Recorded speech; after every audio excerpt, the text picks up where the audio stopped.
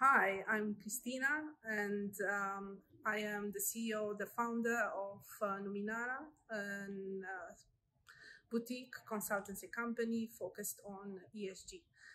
Um, I was asked by net4tec, what do, you, do I believe uh, leadership means today in today's uh, world? For me, leadership is about um, adaptability. It's about um, innovation and technology. It's about empathy. We are leading diverse teams.